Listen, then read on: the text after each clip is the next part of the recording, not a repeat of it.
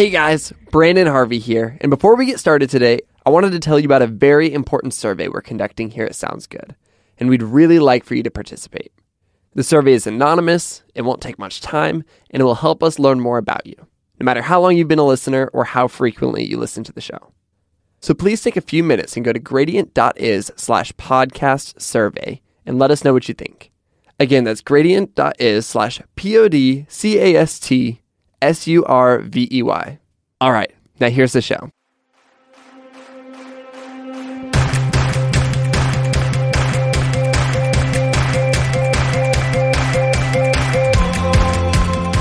Hello, hello. Branden Harvey here with this week's episode of Sounds Good, the podcast where every single Monday I sit down with an inspiring person and talk about happiness, overcoming struggles, and living a life of intentionality and wonder.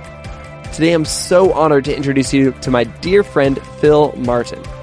Phil splits his time working in emergency medical services as a dispatcher and shooting photos for amazing companies like Verizon, Kia, Gatorade, Coca Cola, and Amtrak.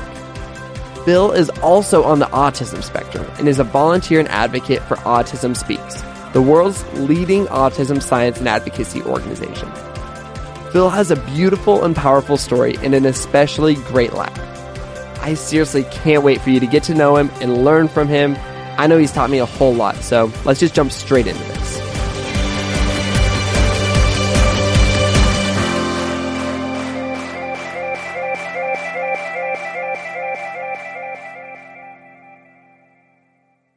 I'm in the studio today with the incredible Phil Martin. Phil, welcome to the podcast. This is so awesome. Man, it's so good to have you here today. I am excited to be here. It feels really weird to say this is the first time I've seen you since last year. And it's just, Yeah. I'm so overwhelmed with emotions right now. And you drove in from DC to hang out. This is so night, good. Through the night. And the last time that we met, you and I were on a train trip across America. And uh, and I remember when I met you, you were just a big teddy bear, and you still are. You know, like Phil hug is the best hug. Yes. and uh, and I don't know, it was just really fun, and I loved getting to know you on that trip. I enjoy like like meeting you was like one of my goals as a photographer. So it was it was a big honor for me to meet you. No way, I really, Yep.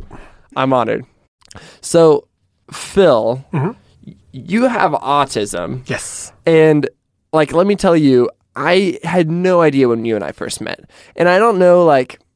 I don't, I don't know if I l- knew all that much about autism growing up, but when I met you, I was like, oh, this is like, I didn't, there was no connection for me between like, oh, this is Phil. And like, I, I don't know if that even makes sense, but I was just like, oh, like this is just my friend Phil. And, uh, and so it's been great getting to know you and learning more about autism. Um, but, uh, but when we first met, I had no idea. And That's that's the that's what everyone gives me when I first meet anyone. They're just like, no, there's no way you have autism. There's no way. And actually, um, uh, during the trip, I don't know if you remember, I was stopping off in cities and I was taking portraits of people with autism, and beca- that was because of a comment that someone had made to me about me not having autism. They said, "You're too normal to have autism," and I was like, "Are you serious? Like, like no, that's not how it works. Like autism looks." like this glass of water right here like you don't like you can't look at it and tell that it like it's it's there's no sign there's no external oh he has autism. Oh he doesn't have autism. So i did the portrait project so that way i could capture the images of people around the country with autism to say hey you know can you tell he has autism? Can you tell he has autism? Autism is so unique. It's almost like having like a special a special star in your heart mm. or a special sparkle in your heart. That's, I like that description of it. You've got a sparkle in your heart. That's amazing. you know how to make a black man blush Oh, so you and I were on an Amtrak train mm-hmm. heading across the country, and something that was really cool about that experience was that you love trains. Yes. Super passionate yes. about trains. Like a train just came by the studio, Yes. and you were like, "Oh, this is awesome." as I was driving here, I drove over the train tracks and I was like, I have to come back here and take pictures on these train tracks. Like, these are where trains live at. and tell me a little bit more about that passion for trains. Um, so when I was a child, so this was also like um, a lot of people with autism like a lot of a lot of mostly boys with autism love trains because they're in a straight line. They don't deviate from their path. They have, a, they have a schedule. So that's that's what the fascination is with trains. So when I was a child, my mother and I lived about four metro stations from my grandmother. So we would hop on the metro bus, we would ride down to the um, to the station, and we would ride to my grandmother's house. So every time we would ride, I would always stand outside of the train operator's window. He would stick his head out, and I would ask questions because I wasn't.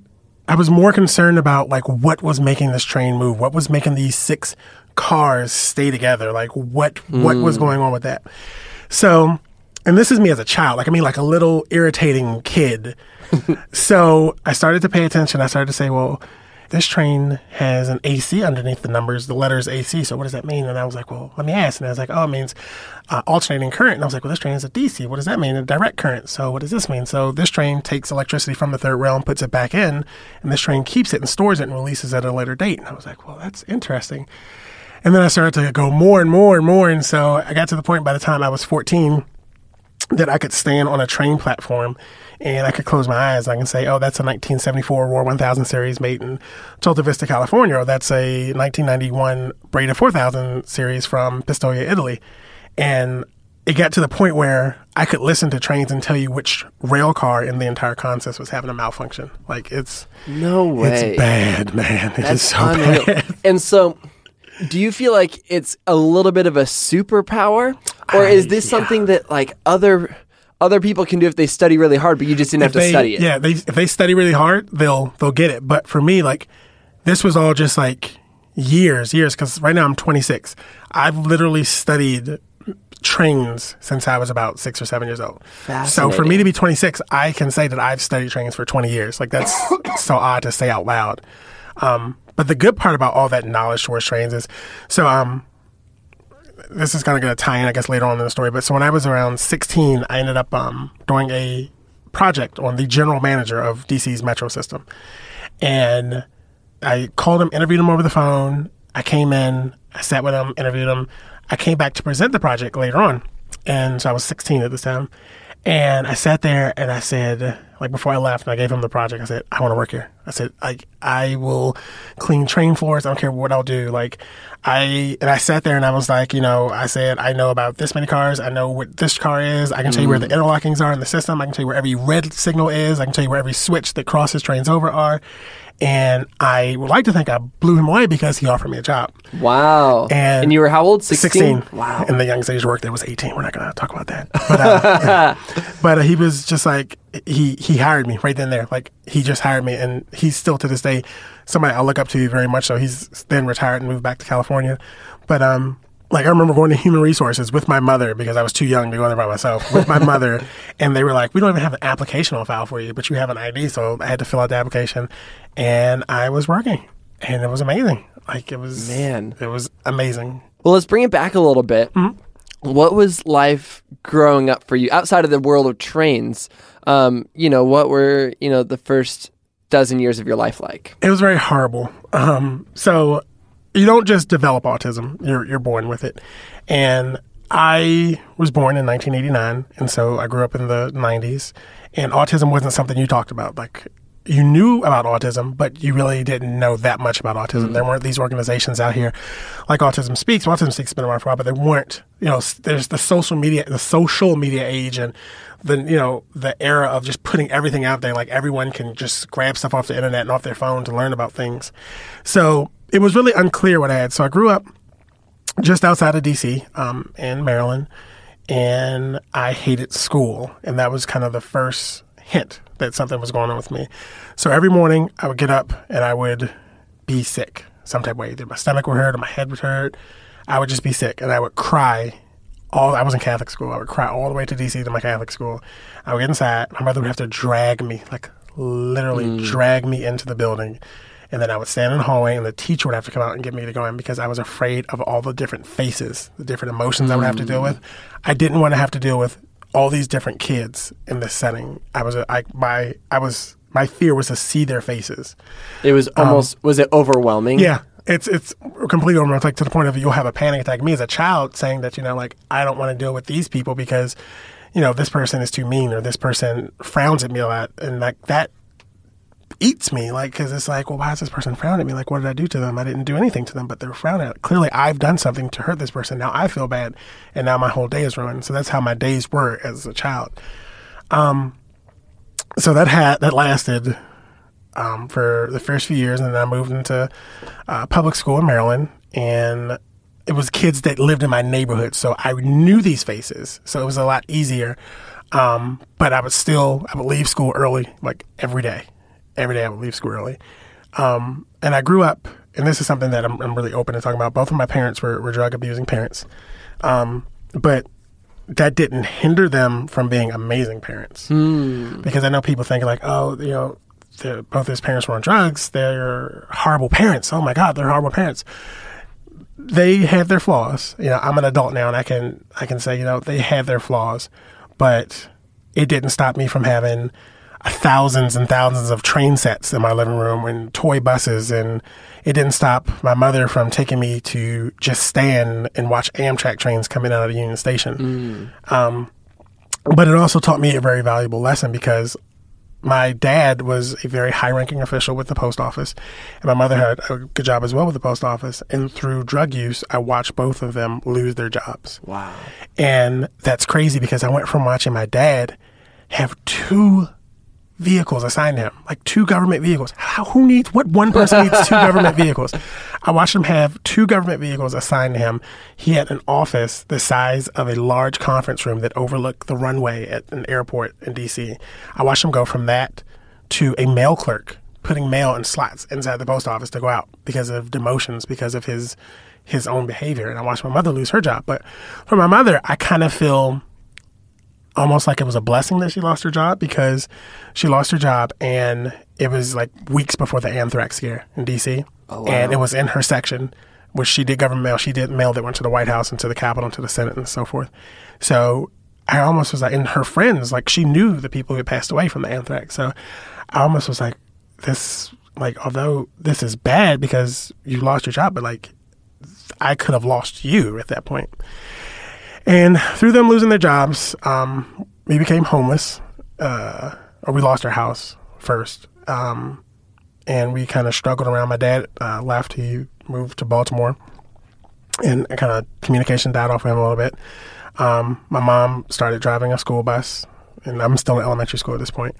She started driving a school bus, which means she had to be out the same time I would have to be out. She would have to be out mm. before me to get the school bus out to the kids. So it left me to get myself ready for elementary school, and that wasn't happening because I hated school. so I would miss a lot of school. She would have to come home on her break, drag me out of the house. I lived literally across the street from the school. Like from my balcony, I could see the school. I used to have to go inside on days I missed school and hide from my teachers as they were leaving the parking lot because they would see me.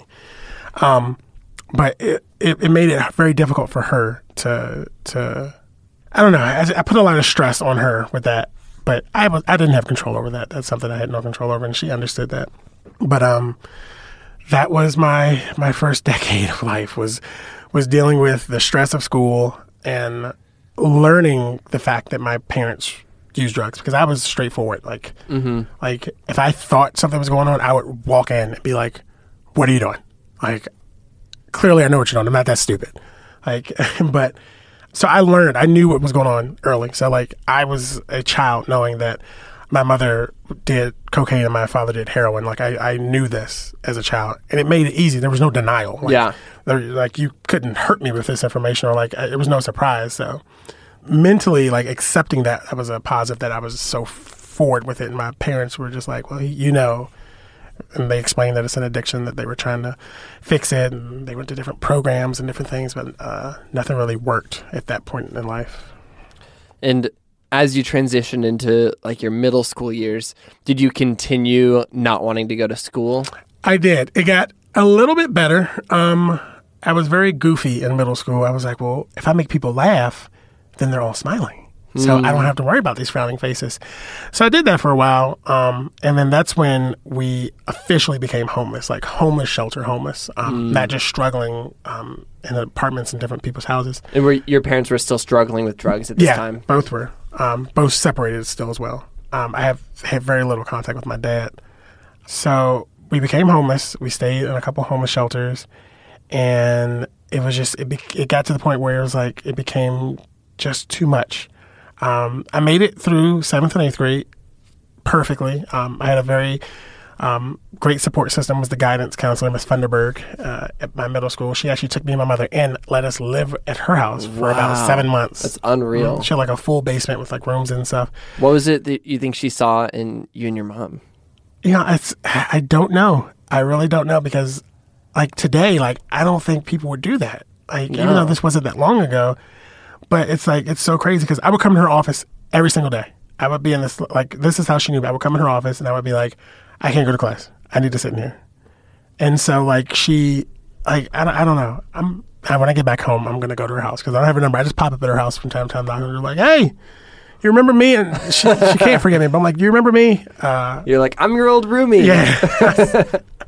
so I'm gonna ask her, and I'm gonna tweet you it. Yes, I'm gonna send her a please. tweet. Please. and so she was your guidance counselor. Mm-hmm. Do you think that she had any clue that you had autism? At that point, no, I don't think. I think it was. I think she may have thought that here's this young man who needs some encouraging, um, because there was potential. Because I've always been the way I am now. Like I was a complete general, yes, ma'am, yes, sir, to people at school, and a lot of the teachers loved it. And she knew something was going on. She had to know something was going on because I wasn't just a kid that didn't that wanted to give up on school. And there were a lot of kids in middle school where I grew up that were just like, I'm done with school. Like as soon as I hit 16, I'm dropping out. And I was just like, I want to be here. I just I can't be in that classroom right now. I need to sit off to the side. Like, can you go get my work out of the class and I'll sit in here and do it and turn it in. So I think she I think she just didn't want to see not to make it race anything, but where I grew up at, it's it's you don't have to look hard to see an African American man that has given up, and I think she just didn't want to see me in that same position. Hmm. And so fill in this gap for me between that moment and where you started to kind of be like, "Oh, I think I I think I have autism." And that explains all of these different things going on in my life. Mm-hmm. So my original graduation date from grade school completely was 2007. Just store that in the back of your head for a second. So um, I went over to, um, I graduated from middle school or promoted from middle school. Went to high school. I went to what was then I don't know if it still is the best high school in the county. It was like number one. It was science and tech. It was like we were they're so smart. So I was so excited to be going to this school, and even like you had to apply and take a test to go to this school, and I applied and took a test and I failed. but I was moving to the area where that school serviced, so I had to go to that school. So I didn't tell my friends. I was like, "Yeah, I'm going to that school," and they were just like, "What?" And even like the administrators, they were so proud. They were like, "Look at you, Mister." They were calling by the school's name, and uh, I was just like, "Yeah." And it's like, "You guys don't know. I'm just going to a homeless shelter near that school." But um, so ninth grade, I remember my English teacher, Mrs. Wilson. I can see her face clear as day. She used to embarrass me so much in school. She would call me stupid. I remember it. Like when I would try to read, I would be so nervous with reading and doing anything in front of all these people because I was, I was, I'm a great reader. Like I'm, I'm really good at communicating, and I would focus more on the people in the room than the words on the page. Hmm. So I would lose my place really easily. I would be so nervous. I would start sweating. I would start stuttering. And so I remember something. She looked up to me and she said, "Are you stupid, boy?" And I was like, "Okay, well, I'm done here. Like, uh, I'm never coming back to this class." So I would then skip her class every single day, and I would go. Her class was in the morning, so I would make it to homeroom. I would make it to my first period class. She was second period. I would leave school after my first period class. I would get on the metro bus and I would go ride metro trains all day to the end of the day, and then I would come back home. So after a while, of course, the school was like, "Ah, Mrs. Martin, do you know your son has been absent every single day since the first period, to majority of his classes? And she was like, no. So she came in, and I started to have to start making the appearances at these classes. And so Miss Wilson again, I remember walking past her class one day, and I spoke to her, and she said, "Can I ask you a question?" She said, "Are you retarded?" And I was like, I'm sorry. She said, Are you retarded? Because if you are, we need to get you some help. And I despise that word so much, and I'll explain why, but I absolutely despise that word.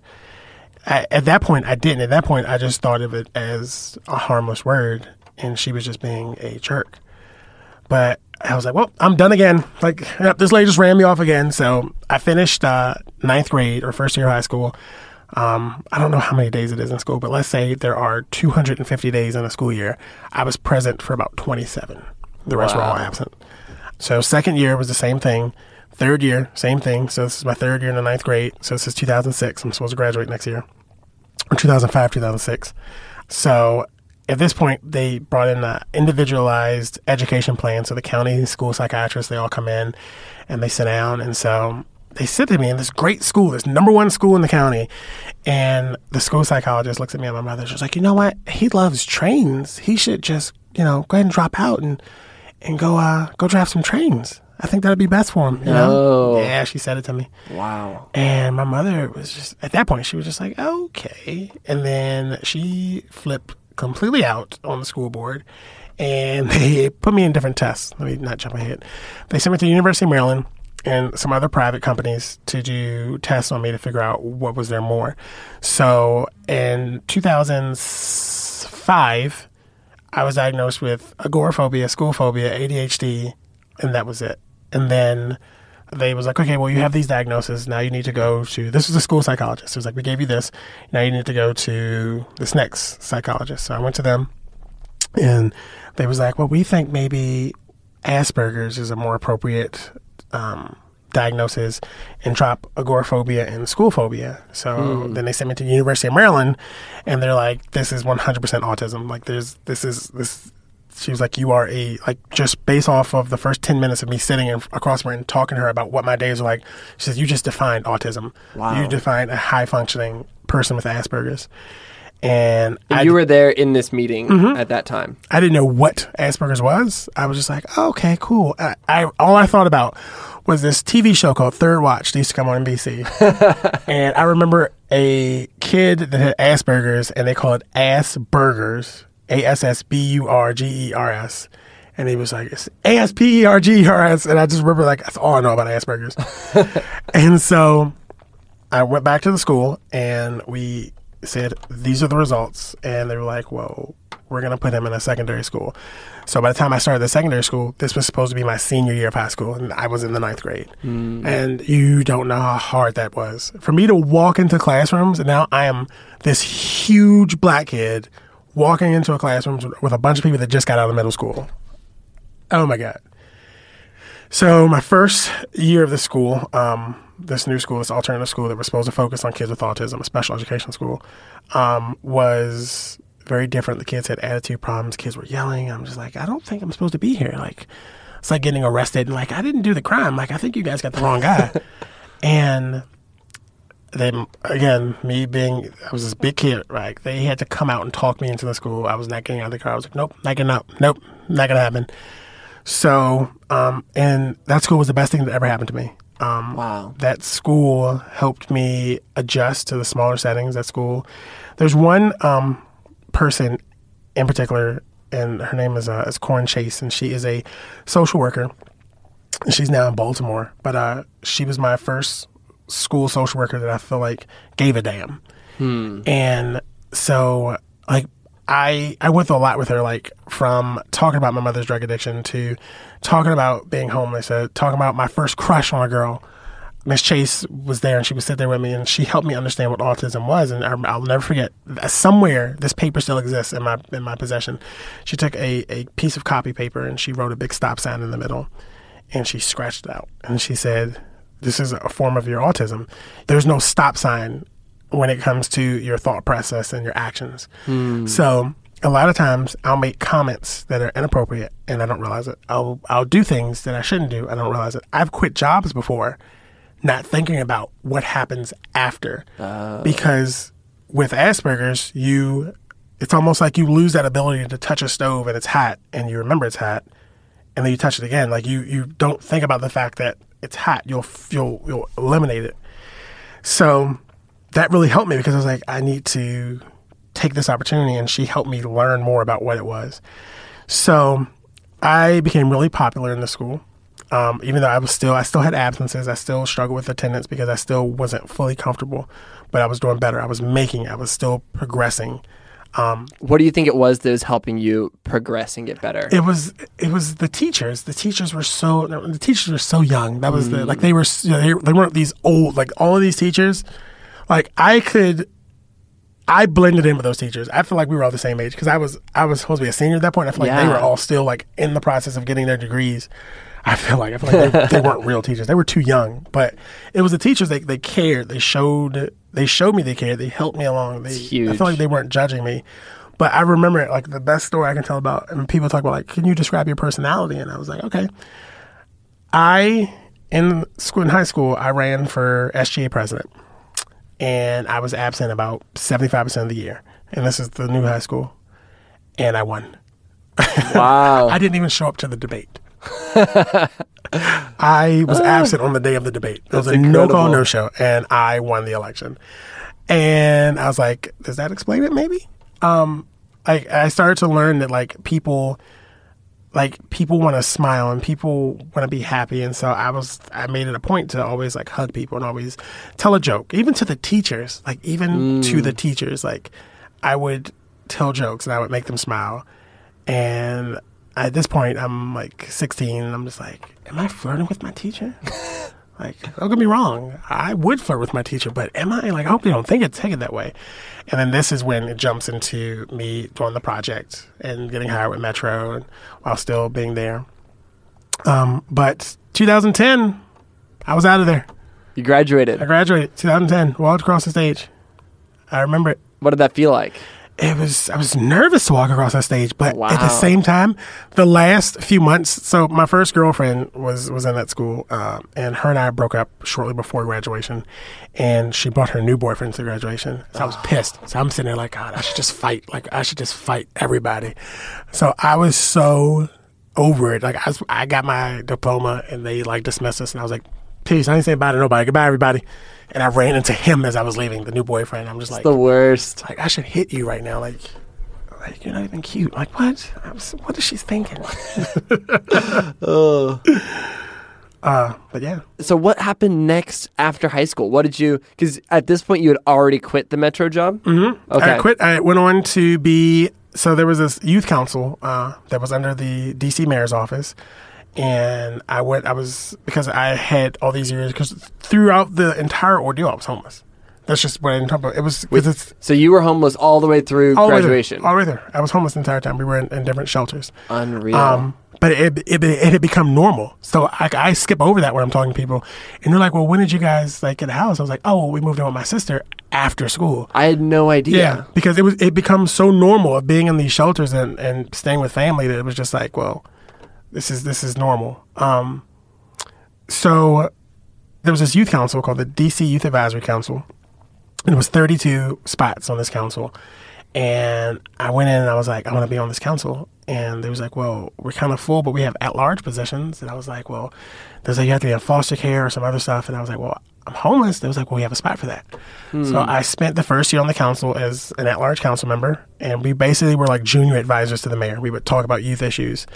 And the next year I ran for vice chair and I, I got it. Wow. And then the year after that, I ran for chairman and I got it. And I chaired the council for about three years um, before I got upset and quit and resigned. And then I went on to get my emergency medical technician. And then I started working at an ambulance company and I hated it. And I got a new job and I started working as a dispatcher. And yeah, that's that was like my intro to public safety. Like that's where I jumped into public safety is when I resigned from the Youth Advisory Council. Do you have any idea what it was that drew you to just public service in general? Because it's a clear path, even though you kind of jumped in and out of a few things. Mm-hmm. But is there something about you that you feel like drew you to that? I don't know. It's like I want to help people. Like that's just that's like it's so weird. You hear people saying that, and it's such a corny answer, but they say, "Oh, I want to help," but like I really do. Like I, I nothing makes me happier than being in the fire station and we're sitting there, and then the bell goes off, and it's like we look up at the board, and it's like, "Oh, someone's having chest pains. Let's go change this person's day around." Wow. like that's what's happening. Like when we get in that ambulance and we cut the lights on, we're going down the road. It's like we're gonna go. Like we we we joke all the way there, and it's like we we turn into this new mode when we get there, and it's like it's it's unbelievable. and I've won. I've received three life saving awards Wow. to date. For, Uh, can you tell me the story of? I'll tell you one that, okay. that me and my friends joke about a lot. We were we were out. We were on the fire truck, and um, we were out getting food, and they put out a, uh, a CPR call, and we were going to be the first one on scene. The, am, the the two ambulances that were coming were coming from a little bit farther. We were the first one on scene. So actually, it came out. I think it's trouble breathing. So as we're going down the road, they were they called us on the radio, and it was like, "Be advised, supplements to the call advised that the person is now no longer breathing." And so I'm just like, "Oh, damn it!" So I get out. I didn't grab anything. I ran in, and my one of my closest friends, he always like he tells a story, and it makes me sound like I was like a superhero. I ran in, I slid across the floor on my knees. And began CPR, and so he came in with the bags, and he started doing the compressions. I mean the um the air, and I'm doing CPR, and so when he does the air, I take my coat off, and I throw my coat around the room. I'm doing CPR, and then everyone comes in, and people all around, I'm like, get back! but um, he lived. Incredible. He lived. You saved his life. Yeah, but it's not always always good days. Um, I don't know if I can share sad stories. Am I allowed to share sad stories? You can share sad stories. Uh, last month or two, well, over the last two months, I've had two infant deaths and one that was a save, and it's like it's I can't even begin to explain the feeling that goes through your body when you when they, they they give you a lot of information over the radio as you're responding to the call. But the feeling that you get it's almost like you disregard everything. And the one that was the saddest was it was a it was a daycare that was not supposed to be operating. And the baby choked and passed away at the daycare and the call came out as one not breathing and so we're responding we're already responding we're on 10 because it's one not breathing as we're getting closer my son is nine months old as we're getting closer then he was seven months old as we're getting closer they'll say they said communications to ambulance so and so there's like be advised it's going to be a seventh month old not breathing so i'm like all i see is my son that's all i see all I see is my son. So we get there. Like I, I drove so fast. We got there. At this time, another ambulance got on scene before us. Um, they were like, "They need a driver." I got in. I drove to the hospital. I stood there and I watched them work so hard for so long, um, and they they wasn't able to get the baby back. And then, but we got to save though. We also had to save. There was a little girl. She was outside playing, just playing, and she dropped. And she was the same age as my nephew. She was nine years old and we were responding. And then they gave us a supplement over the radio. They was like, "Be it's gonna be a nine-year-old not breathing." We got there. She's in the middle of the street. They're on CPR. Um, we load her up. They worked her for about thirty minutes at the hospital. She was she was blue.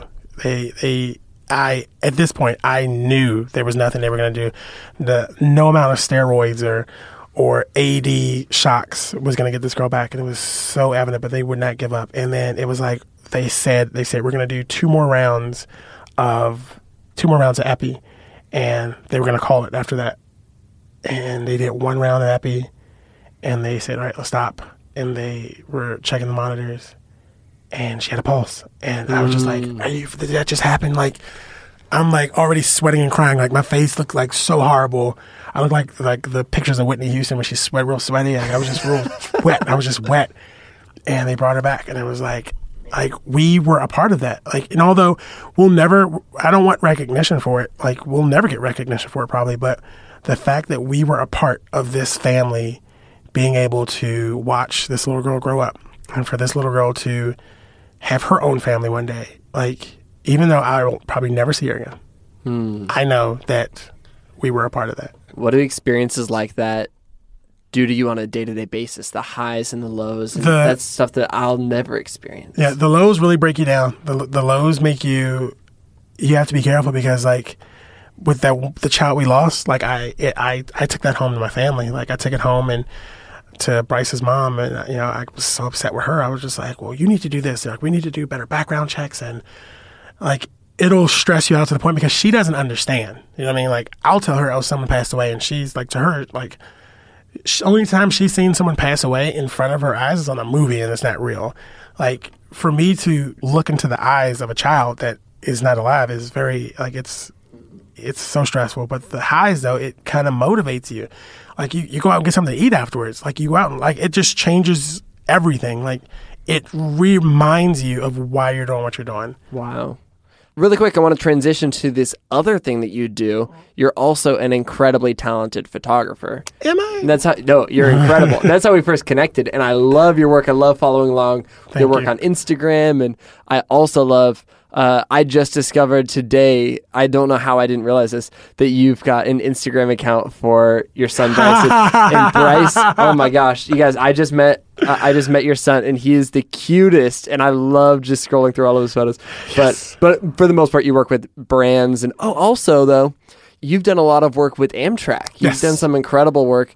Um, and it's really fun to see you be able to take these two passions, trains Mm-hmm. and photography, and combine them together. It's I'm really excited, and actually, I just got the phone yesterday with Amtrak, and we're going to be teaming up on a project um, the very last day of this month. Where we're going to go out. I don't know if I'm supposed to talk about, but we're going to go on the railroad. We're going to shoot some stuff. Um, Incredible. for some upcoming campaigns, and I'm just like, even though like I'm I'm so excited about it. Even though most people are going to see these pictures, they're going to see this this, this content, they're going to be like, oh, that's pretty cool. Oh, that looks like a fun time. I am secretly behind it, like that's me. I take I think about, and this is loser. Hopefully, uh, Zach Glassman will hear this and laugh at this part. But I think about the show Thirty Rock. And, uh, 30 Rock. and Liz Lemon is sitting at the TV after she finished the Deal Breakers episode, and they didn't use her show, and they put her, they her TV shows plays on the TV shows, like in the background. yeah. And so she's sitting there, she's like, "That's me." so like when I see my images, I'm like, "I took that."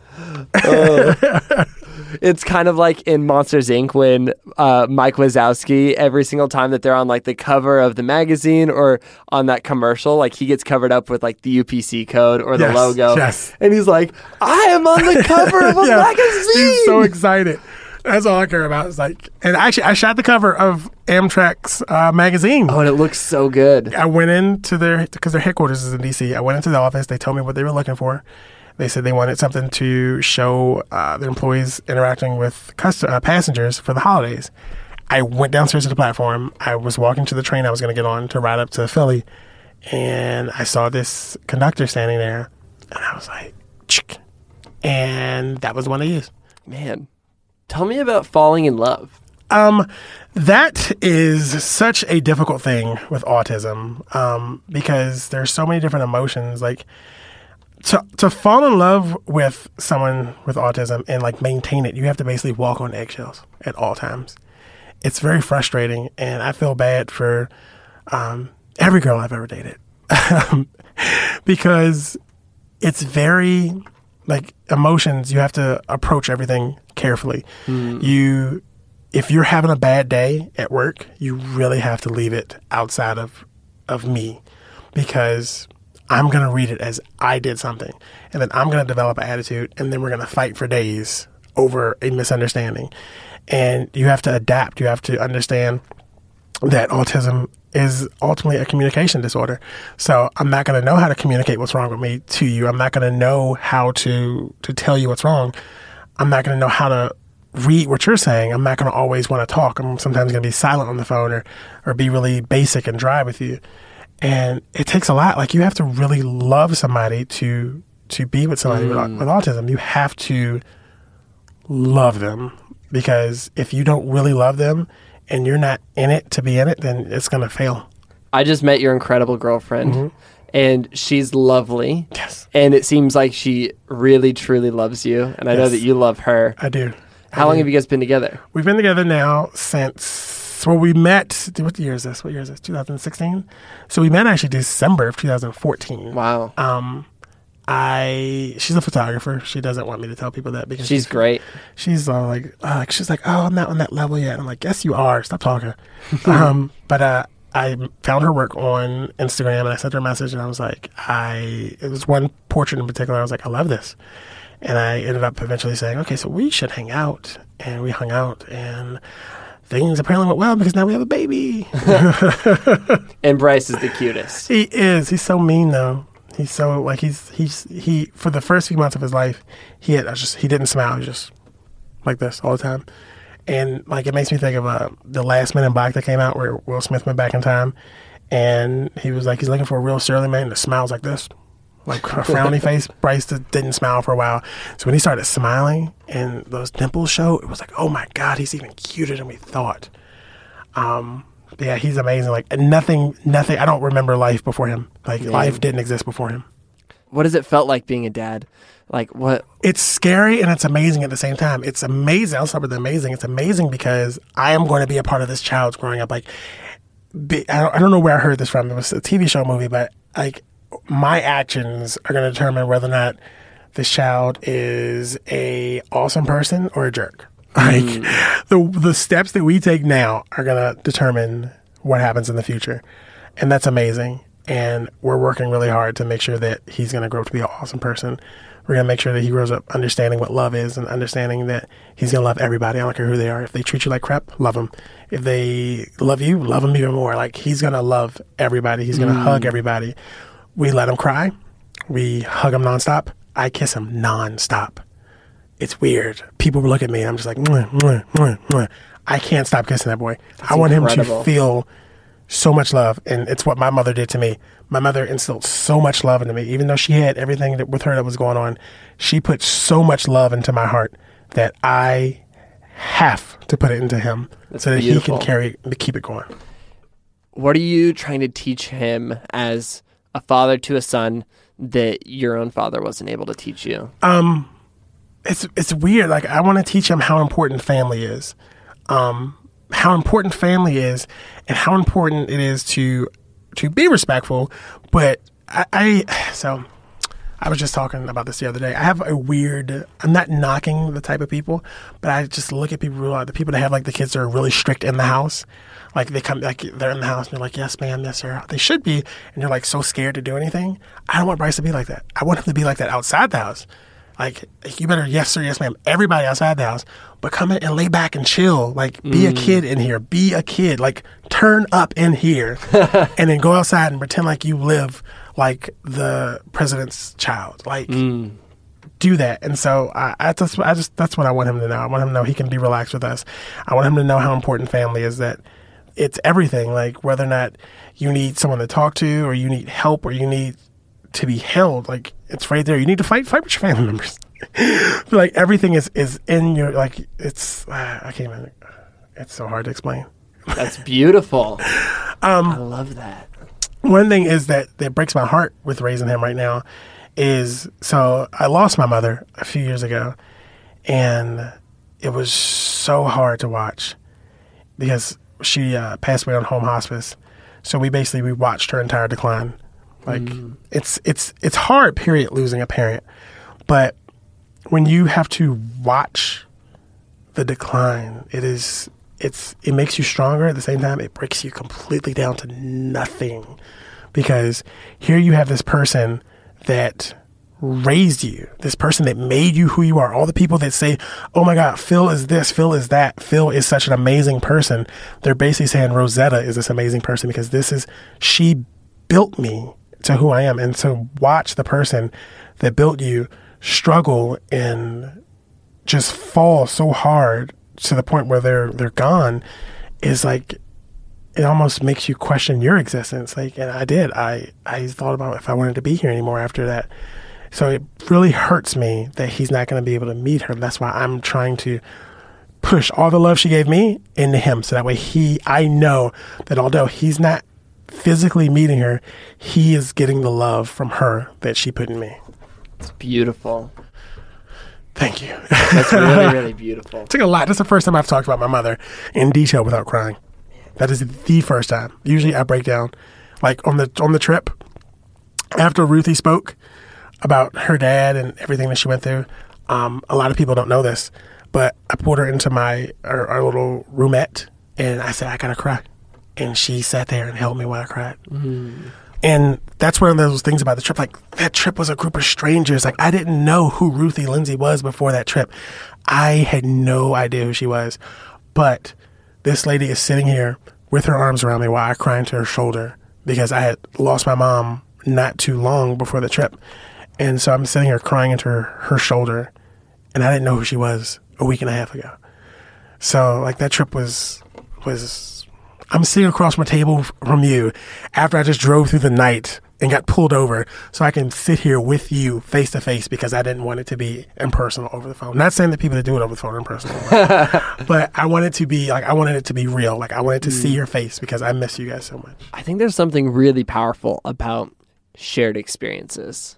You know, I think the fact that you and I boarded an Amtrak train and we got to take it from point A to point B and had so many experiences in the middle, it does something. And and it you don't have to hop on an Amtrak train, although I'm sure Phil you Yes. would love for people to do an. Amtrak train. But uh, but you know, just having experiences with people, you know, ro- like my friends who I've gone on road trips with are they're so much better friends than people who have you know sat in Nashville and had great conversations over dinner Mhm. with. You know, it's there's it's just something unique about these experiences, and that's Yeah. why I'm I'm so glad that we met.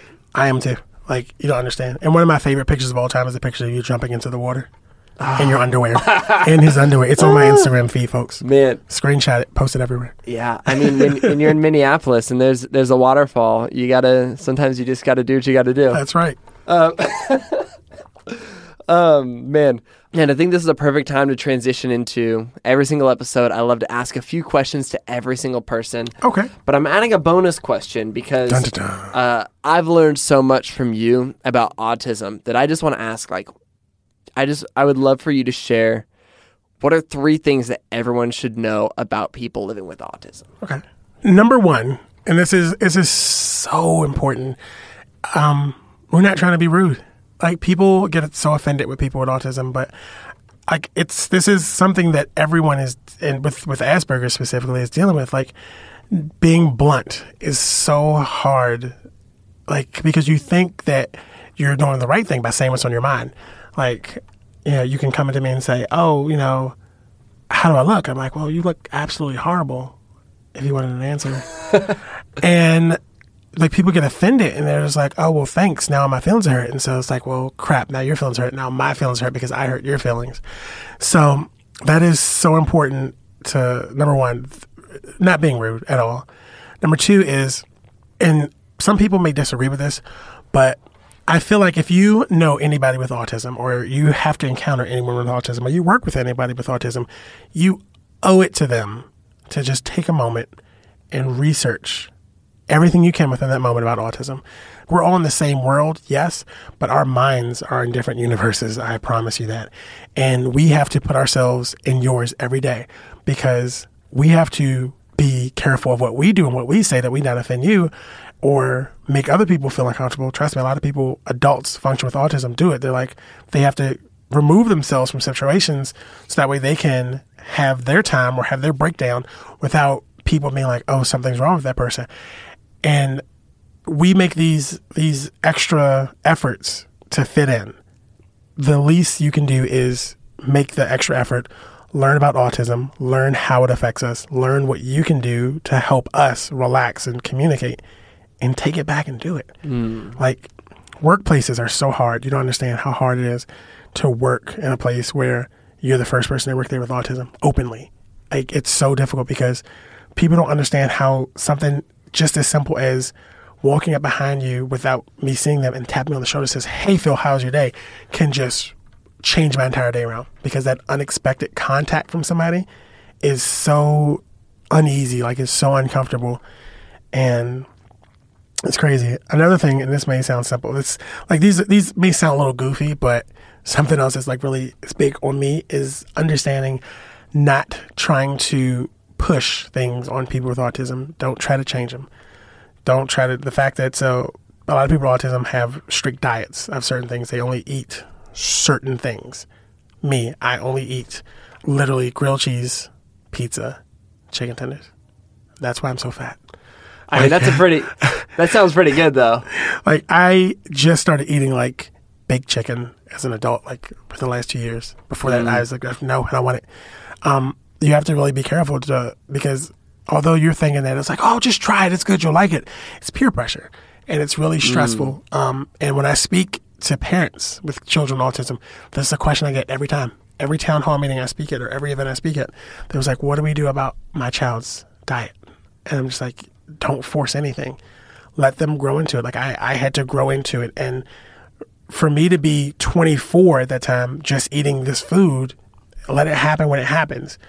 But uh, having somebody that you know understands that and will work with trying to, um, I've had friends that work try to like incorporate new foods.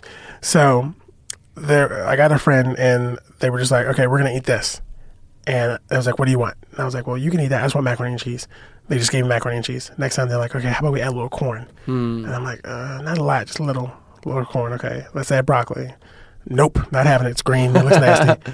but eventually, like I was able to eat all these foods that I've never tried before. Hmm. In 20 years of living, 20 plus years, I've never tried any of these foods.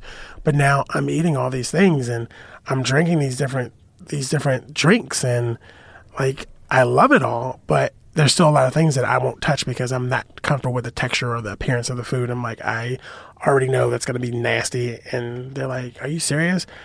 And I hope a few of my friends don't listen to this, but all my friends believe that I'm allergic to seafood. That's not the case. Seafood is one of the foods that I will not touch. I used to eat it as a child. I used to eat fish and shrimp as a child.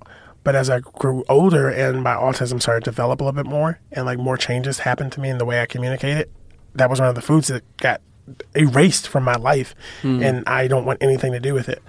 So a lot of people with autism, they have to say they're allergic to foods to stop people from trying to force them to try it. Like Fascinating. they have to say I'm allergic. I have a, f- I've talked to so many people with autism that say, "What's your fake allergies?" Because they have to fake an allergy to get people to, to leave you alone sometimes. Hmm. So that's my three things. Those are three good things. So number one, don't be rude. You know, and I think a pretty good way to do that is probably just to imagine like if somebody is acting in a way where you're like, what what's like what's going on? You can be like, what if this is just Phil right now? Like what if I just bumped into Phil? He's not trying to be rude. Yes. Like and and you don't need to be rude to him because, you know, it's just you know, That's I- it. like they they're not doing this on purpose. It is not on purpose. Yeah. I promise you. And I love number two, which is essentially put yourself in someone else's shoes because you, Phil, do that every single day. You're saying, how are other people thinking? Okay, they're not thinking that way. Okay, that's good. That's good. The least we can do is have a little bit of understanding of, Yeah. of what's going on in other people's heads. It's so weird. It's like I and I, I did a I recently wrote a, uh, a guest blog post for Autism Speaks about being an adult employee with autism, and I haven't even shared this on my social media because I don't want my coworkers to see it and feel some type of way. Like that's that's what I'm doing. Like I don't want them to feel like because some of most of that article is written about things that happen at the current job. So I don't want them to see it and they feel bad because I'm so worried about their emotions that I have I really haven't shared it on social media. That I wrote this blog post. You're such a nice guy. It's horrible because I want them to see it so oh, bad. man. Because I want them to see it like, okay, now that you know, you can stop doing that now. Yeah, man. Dude, that's so good. That's super helpful. I hope that's helpful to lots of listeners. I'm I sure it will hope be. so. Man, question number two. How would you describe the kind of person that you most admire in the world? Um, it has to be my mother, and that's such a typical answer for people. But my mother was a full time government employee who used drugs and raised an autistic son while homeless. Come on. Unreal. Like I didn't know people could could balance that many things and she was an amazing individual and people talk about her smile. I remember at my funeral, my best friends, they went up there, they just kept talking about her smile and I'm just like she like she had a smile and a laugh that was like amazing. Um and she did so much and although she did blow money on something as stupid as drugs, but it is an addiction. She also made sure that if I said, Mom, I want this Amtrak train car model for my set, she made sure the next day it was on my tracks rolling. She worked so much with me. Like she was so patient with me. And it's a I'm not gonna say it's a good and bad thing. It was a great thing because that built like a connection between her and I that no one could ever get close to. But at the same time, it kind of hindered me from being able to develop a little bit because I kept being like, okay, mom's always going to be there. And she eventually got clean and she cleaned up and she was clean for about seven years um, before she passed away. And she was still driving school buses. And it was just, it was, uh, she was an amazing woman. Like, I can't. It, I I wish she could just like come in real quick and just like like come down from heaven, tell them real quick about how awesome you were, and then you can go back. I'll let you leave. but she was so. I, she loved everybody, and I I just I don't know. Like it's hard to explain. That's Like- beautiful. my next question is what are you consuming right now that you love? So it's really not. It's, I know people come in and they talk about like you know oh they're they're doing this and they're studying this and reading this and I am wa- I am watching this damn Volvo commercial over and over again. Tell me more. the Volvo commercial with the guy with the beard. I'm pulling this up. There's Tell me about it. if you go to YouTube and type in Volvo commercial, there's one for like three minutes. So Volvo, kind of like the Matthew McConaughey Lincoln commercials, it came out and it had like this really nice like framing and like the photography was like really good and you know he's talking and there's good music playing. Volvo has this commercial that on TV they only show the end of the commercial, and there's a guy riding in the car and the, you don't know what the hell's happening. Like you don't know what's going on, but offline or off of the TV, they have a full three minute commercial where this guy is talking about giving his wife, his uh, daughter away to her husband, and he's sitting and he's sitting in the Volvo and he's writing it the the letter and he even though it's so like I get stuck in like art like that like the writing and the the photography is so good and the acting is amazing and I just can't stop watching it because that's where I want to be. I want to produce something like that. I want to be able to put some type of content out like that because I feel like that is that touched me. Like for that, mm. like they they won. Like I hope someone from Volvo hears this. Like they did a great job because they pulled me into the fact that I watch this video once a day. It's incredible. Branden, you're gonna watch this three minute video after this. Yeah. I'm gonna sit next to you and we're gonna watch it. We're not gonna talk until it's over because if you talk while it's over, I'm gonna be upset. but yeah, um, VSCO, this is not a plug whatsoever, I promise, has been a huge part of my creative process from jump. They were a huge part of. Um, I did a journal post about my mother passing away. It was the first journal post that was posted to VSCO's journal platform. Um, they have shared it a few times at their company meetings um, to remind employees why they do what they do. Wow. They shared it in interviews with magazines and with news outlets. So VSCO's blog that has changed. Um, I I go back and I look at some of the older, even though I've read them so many times. I go back and I read some of the blog posts from a few years ago, like where they were interviewing like Chris Ozer on a regular basis. Like I read those and I'm just like, like this is like they're talking about their love for photography and their love for exploring and like sometimes I need to remind myself of that because like because vsco was one of the companies that helped me build what I wanted my feed and what I want my mood to be, that's who I go back to to find my own like my own reasons. I'm like, okay, I remember reading this years ago when I had 100 followers on Instagram, and I remember saying, okay, that's how I feel. I need to remember like this stuff. Uh, So I spend a lot of time on VSCO's website. Their, That's great. Their archived website, not the new one. I love that you're digging through, but whether it's a commercial or whether it's blog posts for things of depth. They make Yeah. you feel things and inspire you to create more. I think that's huge. Yeah. And, and if anyone watches this Volvo commercial, like there's a scene, I'm going to share this. There's a scene at the end of the commercial where he says, I love you. And even though it's acting, it is so real to me. Like I feel it. It's so odd. It's so odd the fact that I feel that. And it's family. Like he's writing this letter to his daughter. I can't wait until I can stand up in front of anybody and tell them how much I love them. And he's doing it in this commercial. And it feels it feels so right to me. It's beautiful. Man, I've got one last question for you. Okie dokie. Based on the ways that you've chosen to step out and live your life differently, what's one thing you'd encourage someone else to do in their own life? Be your complete self. Don't and this is such a weird word, don't sell out, I don't know if that makes sense. Like don't let anyone change you. Determine what you want to do. Go out and do that one thing. So if you want to go out and you want to drive a bus, don't let people deter you by saying, "Oh, bus drivers only make this amount an hour." Go out, sh- grind to do what you want to do. Find your your your your your own way of doing it and perfect it. Like I didn't do that. I was so stupid. Like I wanted to do what everybody else wanted me to do. Like, oh, go do this, and I did it. Like, oh, go be like, I didn't really want to be an EMT for this company that I started off with. They were like, oh, go do this. And I did it and I hated it. Like, if you listen to other people, you'll make decisions that you'll regret because you're not listening to yourself, regardless of how bad. Take this from someone with autism who doesn't have that stop sign to stop them, so they just follow their own gut to their own intuition.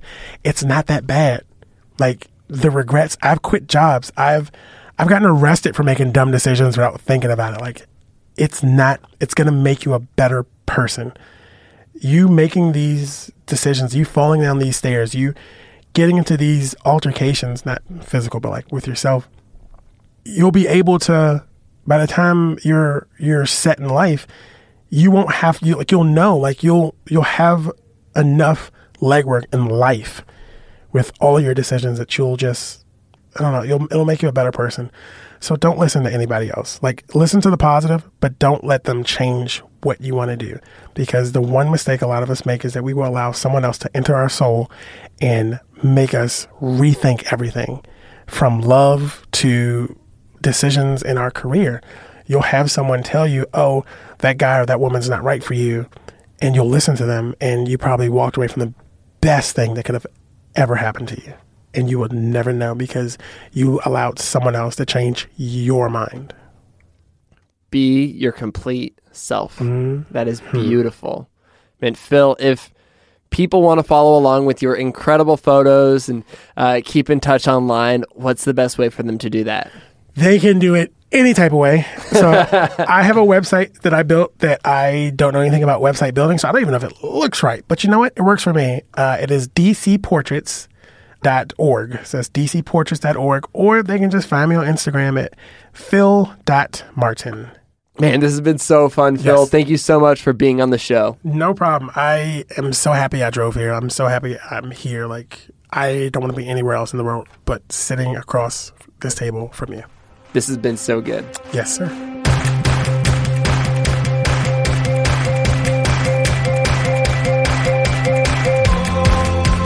Sounds Good with Branden Harvey is part of the Gradient Podcast Network and is created in collaboration between me, Branden Harvey, and Gradient.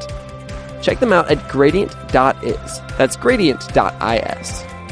Thank you so much to each of you who tuned into the podcast this week. If this is your first time listening, subscribe to the show to get a new inspiring story downloaded straight to your phone next week and every week. If you really connected with this episode, let's totally talk about it. You can find me on Twitter and Instagram with the username Branden Harvey. That's Branden with an E. And with that, that's a wrap for this week's podcast. I'll see you on the internet, and I'll talk to you next week when we get the opportunity to learn from another inspiring person. Sound good?